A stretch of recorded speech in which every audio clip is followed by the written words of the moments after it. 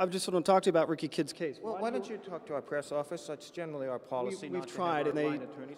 they haven't given us an answer. I will so- give you, a- give them a call and ask them to give you a call. I've got a already, I I've already, down? I've already done that. Why do you oppose Well, Ricky I Kidd's I release? can try it for you if you want, sir. I can call and give them your number. Do you have a number you want me to We've, give them? we've already done that. So they already have my glad- number. Well, I'd be glad to help you have, I will ask when I get back, Jeff said to have somebody give you a call if you'll give me your name, sir.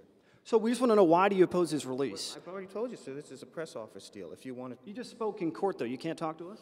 sir, I, I would be glad to have you talk to our press office. I've already tried that. So why do you oppose his release? A police commissioner says he's innocent. The former prosecutor says he's innocent. I will have someone call you. You don't have any concern that a police commissioner and former prosecutor say he's innocent?